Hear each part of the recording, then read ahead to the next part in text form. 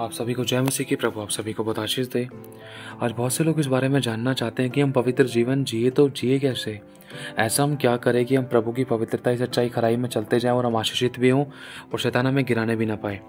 देखो, अगर कोई विश्वासी व्यक्ति, अगर विश्वासी व्यक्ति कोई बपतिस्मा लेता है या कोई भी नया इंसान प्रभु पर भरोसा रखता है, चाहे उसने बपतिस्मा लिया है या उसने नहीं लिया है, लेकिन जब वो नया है, चाहे उसने पवित्र आत्मा का दान पाया है प्रभु में आने के बाद या नहीं पाया, या उसने प्रभु में आने के बाद बपतिस्मा लिया है या नहीं लिया, या वो नया है है ना? तो ये तीन कंडीशन है। तो अगर वो मन फिराया हुआ व्यक्ति भी अगर वो पवित्र जीवन जीना चाहता है तो वो जी सकता है प्रभु के वचन को जानने के द्वारा। तो हमें ऐसा क्या करना चाहिए? देखो, अगर एक छोटी सी भेड़ है, अगर उस भेड़ को चारा नहीं मिलेगा तो वो बीमार पड़ सकती है, कमज़ोर पड़ सकती है, उसकी हालत ख़राब हो सकती है, वो मर भी सकती है, और दूसरों के भी दूसरों के लिए भी नुकसान का कारण बन सकती है, या दूसरों के लिए भी घात का कारण बन सकती है, दूसरों के लिए भी मरी फैलाने का कारण बन सकती है है ना? तो हमें ये जानना है कि हमें ऐसा करें क्या? देखो प्रभु, आज हमें बताना चाहता है इस बात को लेकर। आज बहुत से लोग जीना चाहते हैं पवित्र जीवन, लेकिन मुँह के गलत शब्द बंद नहीं हो रहे हैं, गलत विचार बंद नहीं हो रहे हैं, गलत दर्शन, स्वप्न बंद नहीं हो रहे हैं, गलत कहना बंद नहीं हो रहा है, गलत सुनना बंद नहीं हो रहा है। गलत देखना बंद नहीं कर पा रहे हैं आज हम लोग। आज हमारा सबसे ज़्यादा ध्यान टाइम पैसा एनर्जी आज हमारा जा कहाँ रहा है। एक बार बैठ कर इस चीज़ के बारे में झट से एक बार सोचने की कोशिश करें कि आज हमने पूरे दिन में किया क्या? आज हम की, आज हमने ऐसा किया क्या जिसके द्वारा प्रभु को महिमा मिले? आज हम कर क्या रहे हैं जिसके द्वारा परमेश्वर को महिमा मिले? आज हमने कितनी आत्मा बचाई, कितना क्या क्या क्या नहीं किया? इस चीज़ को एक बार रेक्टिफाई करना है। अपने आप को हमें जांचना है क्लियर करना है। देखो जाँच में जब हम अपने आप को देखते हैं ना तो अपने आप को खाली पाते हैं। पहली बात ये निकल कर आती है, सबसे पहला मैंने टाइम वेस्ट कर दिया।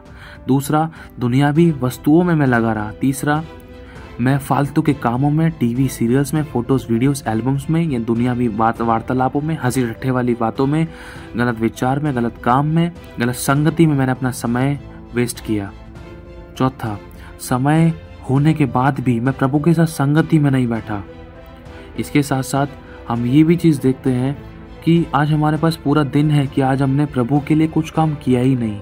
ना तो बीज बोने का, सुसमाचार सुनाने का, ना तो हमने किसी भी प्रकार से प्रभु के राज्य को बढ़ाने के लिए किसी किसी व्यक्ति के लिए प्रार्थना भी नहीं की। देखो, दूसरे की प्रार्थना करना तो बहुत दूर है, जब अपने लिए नहीं कर रहे हैं, अपने लिए नहीं बैठ रहे हैं प्रभु की संगति में।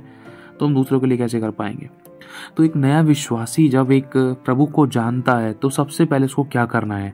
देखो ये कॉमन सी, ये कुछ ऐसी बातें हैं जो शायद आप लोग जानते भी हों, लेकिन हर चीज़ का एक डिसिप्लिन एक तरीका होता है। तरीके से किया जाए तो बहुत बेस्ट और अच्छा रहेगा, है ना? अब अब हमें ये जानना है कि हम ऐसा करें क्या जिसके द्वारा हम पवित्र जीवन जी सके।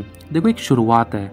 ये नहीं कि हमेशा से आपको ऐसे ही करना है। नहीं, ये एक शुरुआत है ताकि आप पवित्र जीवन जीने की एक छोटी सी शुरुआत करो, ताकि जब आप इन चीज़ों के द्वारा जो अभी आपको बताई जाएँगी, आगे बढ़ो।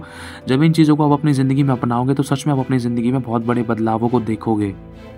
सबसे पहला, लिखो आप इस बात का ध्यान रखना कि बहुत सारी चीज़ें आपको रोक सकती हैं पवित्र जीवन जीने के लिए, चाहे वो शब्दों के द्वारा हो, चाहे कुछ वस्तु के द्वारा हो, चाहे कोई व्यक्ति के द्वारा हो, चाहे कोई प्राणी हो, चाहे कोई आपका नौकरी बिज़नेस हो, काम धंधा हो, कुछ ऐसी चीज़ें जो आपको प्रार्थना करने के लिए रोक सकती है। यहाँ तक कि आपका शरीर भी जो आपको अपने वश में कर सकता है। आत्मा तो चाहती है कि हम प्रार्थना करें। मन में इच्छा है कि हम प्रार्थना करें, संगति करें रात रात भर प्रार्थना करें, सुबह बड़े बड़े काम करें, पवित्रताई का जीवन जिए, लेकिन ये शरीर अभिलाषों में फंसा कर पाप में डाल देता है, या तो सो जा या तो सुला देता है, या आलस दिला देता है, या खुदा के काम को डिले करा देता है, या कल कल कल कल करते करते करते महीनों, सालों बीत जाते हैं। ये शैतान की चालें हैं, कोई मनुष्य बुरा नहीं है। देखो, बुरा, बुरे आप भी नहीं हो, बुरे हम भी नहीं हैं। लेकिन वो अंधकार की शक्तियाँ बुरी हैं।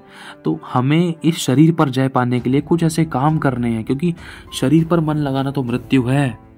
और लिखा है, संसार से प्रेम करना तो परमेश्वर से प्यार करना है। तो ये दो से तीन बातें हमें खासकर ध्यान रखनी है। सबसे पहला, हमें उपवास में आना ज़रूरी है। चाहे हम पंद्रह मिनट का रखें, चाहे एक घंटे का रखें, चाहे दो घंटे का, चाहे छः घंटे का, जैसे आपको अगवाई हो रही है, जितना आप रख सकते हो उतना। ये नहीं कि ज़बरदस्ती नहीं करनी है। ज़बरदस्ती नहीं, ये नहीं कि भाई हो नहीं पा रहा, लेकिन फिर भी भाई उपवास रखेंगे। प्रभु का ऐसा उपवास नहीं चाहिए, जो हम ज़बरदस्ती करें या शरीर की हालत ख़राब हो रही है, या या कोई भी किसी प्रकार से बीपी लो रहा है, बुखार चढ़ गया, भूख की वजह से या वॉमिट हो गई, पेट दर्द हो गया, सर दर्द हो रहा है, इस प्रकार का उपवास नहीं माँगता है। प्रभु के कहने का मतलब उपवास ये है, कोशिश करनी है अपनी तरफ़ से निराहार, जब तक आप आपसे राजा, लेकिन इसके साथ साथ आपको अपने ज़ुबान पर नियंत्रण करना है, प्रभु की उपस्थिति में रहना ज़रूरी है।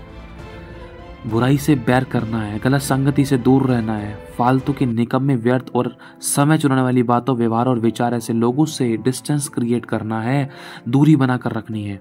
चाहे आप आधे घंटे का भी उपवास रखो, वो भी खुदा ग्रहण करेगा। अगर मैं एक साल का उपवास रख रहा हूँ, लेकिन मैं अपने मुँह से बुराई, पाप, गलत और गंदे काम, गलत विचार, गलत काम, गलत शब्द दूर नहीं कर रहा हूँ तो प्रभु उस उपवास को ग्रहण नहीं कर सकता, एक प्रतिशत भी मेरी ज़िंदगी में बदलाव नहीं आ सकता। लेकिन अगर मैं आधे घंटे में आधे घंटे में बुराई को छोड़ने का उपवास करूँ और पवित्र जीवन जीने की इच्छा रखूँ और प्रार्थना वचन में लौलीन रहूँ तो वो आधा घंटा मेरा एक साल से बढ़कर होगा। आप अपनी ज़िंदगी में अपना कर देखना, मुझे मालूम है। मैंने एक एक घंटा आधे आधे घंटे के उपवास रखे, प्रभु के बड़े बड़े चमत्कारों को मैंने देखा है।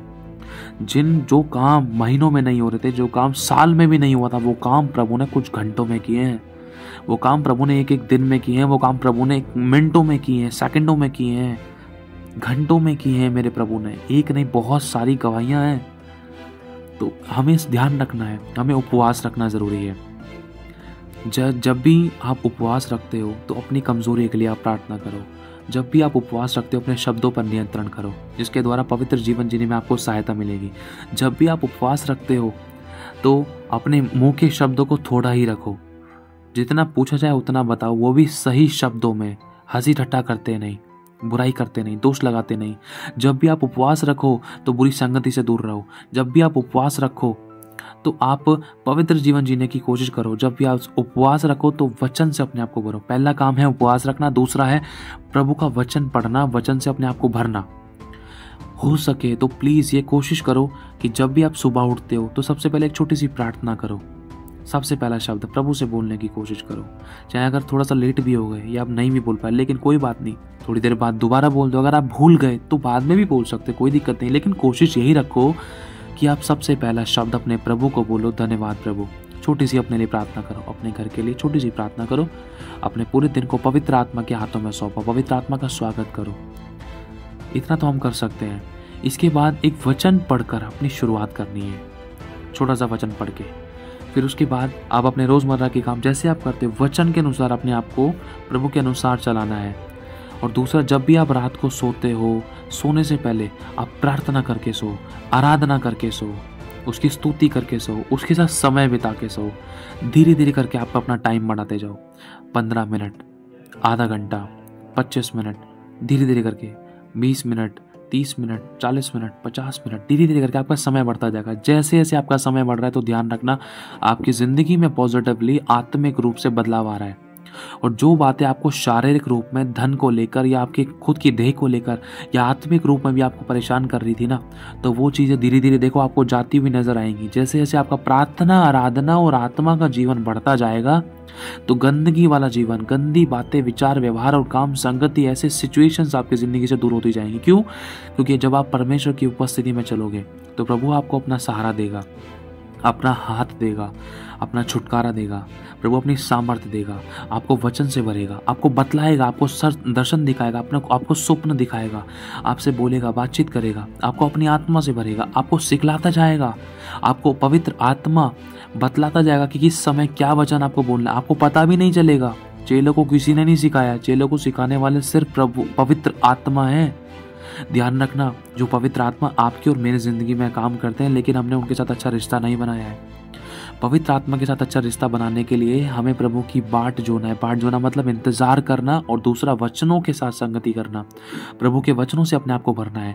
अगर आप एक दिन में एक वचन पढ़ोगे तो हफ़्ते में सात, महीने में तीस, साल में तीन सौ पैंसठ। और तीन सौ पैंसठ वचन बहुत होते हैं, एक साल में याद करना, उनको पढ़ना, उनसे, उन वचनों के द्वारा प्रार्थना करना। जब आप अपने आप को वचन से भर लोगे, अगर आप रोज भी एक वचन याद करो, रोज भी एक वचन पढ़ो, या एक चैप्टर पूरा एक अध्याय नीति वचन का तारीख के हिसाब से पढ़ो तो परमेश्वर सच में आपको बहुत अच्छे बढ़ाएगा। आप वचनों से भर जाओगे। आपको किस समय क्या, किस तरीके से, कब कब क्या डिसीज़न लेना है, कैसे चुनाव करना है, कैसे बचना है, कैसे रुकावटों को खत्म करना है, कैसे युद्ध लड़ना है, कैसे प्रार्थना करनी है, क्या हमें करना चाहिए, क्या नहीं करना चाहिए, बहुत सारी चीज़ें आप नीति वचन के द्वारा भी सीख सकते हो। और किस तरीके से अपने आप को तैयार करना है आने वाले समय के लिए, कल के लिए? किस तरीके से हमें शैतान को गिराने के लिए अपने आप को तैयार करना है? किस तरीके से हमें प्रभु की महिमा के बड़े बड़े काम करने के लिए, प्रभु की सेवा करने के लिए अपने आप को कैसे तैयार करना है? बहुत सारी शिक्षाएँ प्रभु के पवित्र शास्त्र के द्वारा हमें सीखने के लिए मिलती है। लेकिन बख्शकते बात यह है कि हमें अपना समय प्रभु के वचन में देना है। अगर आज दस मिनट दे दिया वचन पढ़ने में तो कल पंद्रह मिनट कोशिश करो। निकालना पड़ेगा समय, बिना निकाले नहीं आएगा। कई बार शैतान हमें इतना बिज़ी करने की कोशिश करता है, और हम बिज़ी हो भी जाते हैं। हालाँकि उन उन कामों के द्वारा हमें कोई अच्छा प्रतिफल नहीं मिलता है। प्रभु नौकरी बिज़नेस के बारे में बात नहीं कर रहा है। देखो, वो तो हमारी जिम्मेदारियाँ हैं। लेकिन इसके अलावा भी हमारा समय शैतान कितना खाने की कोशिश करता है। जो हमारा बढ़ने का समय है, वो शैतान समय बर्बाद करना चाहता है। जो हमारा सीखने का समय है, प्रभु की संगति में आने का समय है, वो शैतान चुराना चाहता है। फालतू की चीज़ों में लगा देता, लगा देना चाहता है कि हम प्रभु के वचन, प्रकाशन, आत्मा में सामर्थ्य में, अभिषेक में, डर में, प्रेम में, भरपूरी में, परमेश्वर के गहरे गहरे भेद और प्रकाशनों में ना बढ़ पाए, ये शैतान की चाल है, क्योंकि लिखा है, शैतान हमसे पहले जानता है इस बात को। कि जो परमेश्वर का ज्ञान रखेंगे, वो हियाब बांधकर बड़े बड़े काम करेंगे और यही ज्ञान शैतान एक विश्वासी को पाने नहीं देता। क्यों? क्योंकि लिखा है कि परमेश्वर का ज्ञान ना होने से उसकी प्रजा नाश हो रही थी और शैतान इसी हथियार के द्वारा। मतलब शैतान एक विश्वासी को प्रभु की संगति में नहीं आने देता, वचन की शिक्षा को नहीं पाने देता, बिज़ी कर देता है। या विश्वासी को अगुओं के विरुद्ध में कर देता है, विश्वासी को विश्वासी के विरुद्ध में, या विश्वासी को ऐसी परिस्थिति में डाल देता है कि वो वचन सुन ही नहीं पाता है। ध्यान रखना सबसे पहला उपवास, दूसरा अपने आप को वचन से भरना, तीसरा है परमेश्वर की संगति में निरंतर आने की कोशिश करना, जुड़ने की कोशिश करना, वचनों से अपने आप को भरना। चौथा, ऐसी चीज़, ऐसी अभिलाषा ऐसी बात, ऐसी सिचुएशंस ऐसी अभिलाषा आप शारीरिक रूप से, जो आपको प्रभु के प्रेम से अलग करती है, उनके विरुद्ध में आपको प्रार्थना करनी है और आपको अपने हिस्से का काम करना है। क्योंकि कहते हैं ना कि कर्म बिना विश्वास मरा हुआ है, लिखा है, कर्म बिना विश्वास मरा हुआ है। देखो, अगर आपके हिस्से का खाना मैं खा लूँ तो आपका पेट नहीं भरेगा, आपको अपने हिस्से का खाना खाना पड़ेगा। इसी से। आपको अपने हिस्से का विश्वास करना है और उसके अनुसार कर्म भी करना है। सही शब्द बोलने हैं। और इसके साथ साथ आपको अब परमेश्वर के गुणों को प्रकट करना है। जो पवित्र शास्त्र में आपको प्रभु सिखा रहा है, उनको अमल करना है। कि आज के दिन मैं झूठ नहीं बोलूँ, आज के दिन मैं चोरी ना करूँ, प्रभु, आज के दिन में गाली ना मकू आज के दिन में मैं विचार ना करूँ, आज के दिन मैं गलत और गंदी संगति में जाना ना जाऊँ। आज के दिन प्रभु, मेरा समय शैतान चुराने ना पाए, फ़ोन में, टीवी सीरियल्स में, फ़ोटोज़, वीडियोज़, एल्बम्स में, फालतू की चीज़ों में मेरा समय वेस्ट ना होने पाए।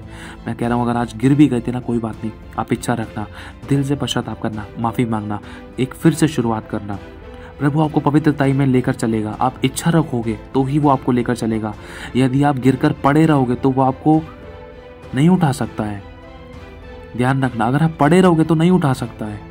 लेकिन जो उठने की इच्छा रखता है हाँ प्रभु मैं उठना चाहता हूँ, मैं पश्चाताप करता हूँ, मैं गिर गया था। तो प्रभु उसको उठाएगा, क्योंकि लिखा, धर्मी चाहे सात बार गिरे, तब भी वह उठ खड़ा होगा, क्योंकि यहोवा उसे संभालता है। प्रभु आपको उठाएगा, यदि आप गिर भी गए, प्रभु आज फिर से आपको उठाएगा। जो भी आपकी कमजोरियाँ हैं, उनको एक पेपर पे लिखो, उनके विरुद्ध में आपको प्रार्थना करनी होगी। चाहे वो नींद की आत्मा है, चाहे वो नशे पत्ते की आत्मा है, चाहे वो गलत बात, गलत विचार, गलत व्यविचार की आत्मा काम करती है, चाहे दर्शन स्वप्न में गलत आत्मा काम करती है, चाहे ऐसी संगति आपकी ज़िंदगी में जो शैतानी है, उन चीज़ों को बांधने के लिए, उन चीज़ों को दूर करने के लिए आपको प्रार्थना करनी होगी। उन चीज़ों के विरुद्ध में आपको प्रार्थना करनी होगी। अपनी कमजोरियों को दूर करने के लिए आपको प्रार्थना करनी होगी। तब आप परमेश्वर के वचन उपवास और प्रार्थना और संगति के द्वारा और पवित्रता में बढ़ते जाओगे। क्योंकि जैसे जैसे संगति में आने के द्वारा आपको परमेश्वर का ज्ञान मिलेगा तो आप पवित्र होते जाओगे, आप अपने आप को बुराई से दूर करते जाओगे और करेक्शन में आते जाओगे और परफेक्शन में बढ़ते जाओगे। जैसे जैसे परफेक्शन में बढ़ोगे वैसे वैसा आप परमेश्वर आपको अपनी सामर्थ्य से भरेगा, अभिषेक से भरेगा, अभिषेक से, ताकत से, अनुग्रह से, बुद्धि से, ज्ञान से भरेगा। और आपकी ज़रूरत भी पूरी करेगा। जैसे जैसे आप संगति में आते जाओगे, जैसे जैसे आप उपवास में, आराधना, प्रार्थना में बढ़ते जाओगे, वैसे वैसे आप परमेश्वर के और नज़दीक आते जाओगे। जैसे जैसे नज़दीक आओगे तो प्रभु आपको और भरेगा, आपकी इच्छा को जानेगा, आपकी ज़रूरतों को पूरा करेगा, आपके मांगने से पहले ही वो आपको देगा और आपको दूसरों के लिए इस्तेमाल करेगा। क्योंकि देखो, जब तक हम अपना क्रूस ना उठाएँ, जब तक हम यीशु के पीछे ना जाएँ, तब तक हम यीशु के चेले नहीं हो सकते। लिखा है जब तक गेहूँ का दाना भूमि में पिसकर मर नहीं जाता तब तक वो अकेला रह, अकेला रहता है लेकिन जब वो मर जाता है तो बहुत फल फलता है। यदि हमें फल लाना है यदि हम दूसरों की ज़िंदगी में बड़े बड़े काम करना चाहते हैं यदि हम प्रभु के लिए इस्तेमाल होना चाहते हैं तो हमें अपने लिए मरना पड़ेगा। मतलब अपनी अभिलाषाओं को मारना होगा। प्रभु के वचन के लिए समय वचन के लिए समय निकालना होगा आराधना के लिए समय निकालना होगा प्रार्थना करनी होगी। और शैतान रोक सकता है, आलस डाल सकता है, लेकिन आपको शैतान के मुँह पर करारा तमाचा मारना है, प्रार्थना आराधना करने के द्वारा, वचन पढ़ने के द्वारा। गलती हो गई, कोई दिक्कत नहीं। दोबारा से वचन पढ़ो, दोबारा से आराधना करो, दोबारा से प्रार्थना करो, लेकिन करो तो करना ज़रूरी है।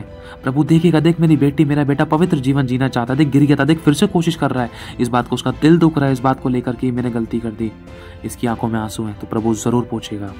प्रभु ज़रूर उठाएगा और प्रभु आपकी उस कमज़ोरी में अपनी सामर्थ्य को सिद्ध करेगा और आपकी उस कमज़ोरी को बल देकर, आपकी उस कमज़ोरी को सामर्थ, अपनी कम, अपनी सामर्थ्य के द्वारा आपकी कमज़ोरी को परमेश्वर बलवान बना देगा।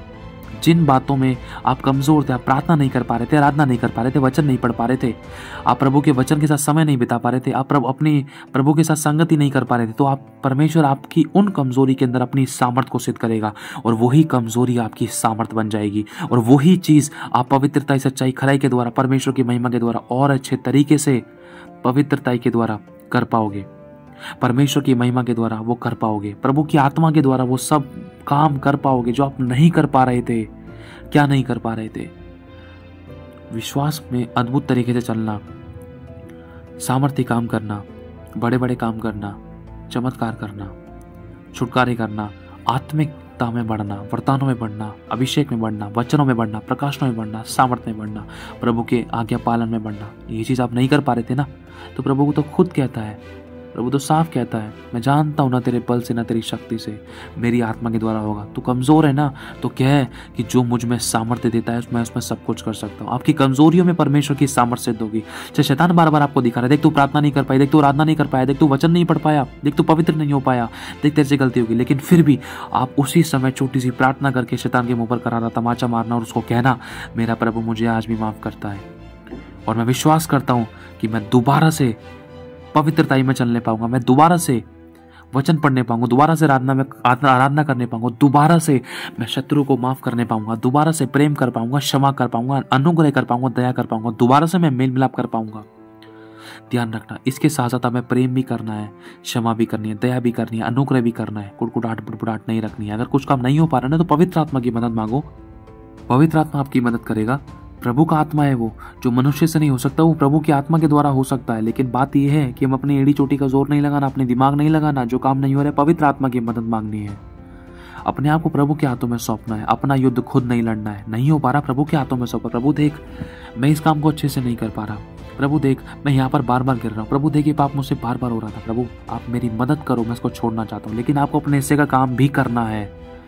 प्रभु का आत्मा आपको याद दिलाएगा। देख, उससे व्यभिचार हो सकता है। देख, इस चीज़ के द्वारा तेरा समय खराब हो सकता है, लेकिन आपको उसी समय रुकना होगा जब प्रभु का आत्मा आपको मन में बेचैन करे। आपको रुकना होगा। नहीं तो शैतान को मौका देने वाली बात है। तो मेरे भाई और बहनों, ये तरीके हैं।